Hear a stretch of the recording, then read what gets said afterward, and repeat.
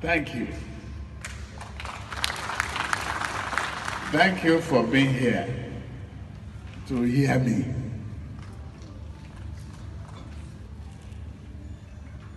And I wish you the best for this country. Many of you are facing challenges of insecurity going along with governance. Exceptionally difficult period for our nation.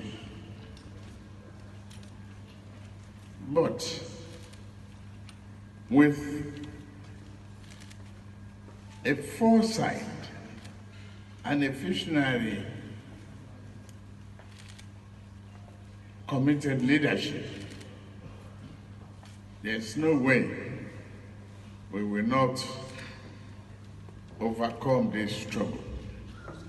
I come to assure you, I am one of you, I identify with you, and I'm determined with you if given the mandate of our party that we will defeat all evils called back.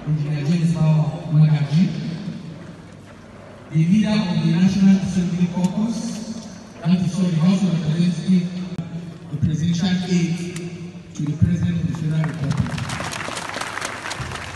And the third on the list is a dynamic because of the huge personalities the Secretary to the Business, that I now know, the Senator representing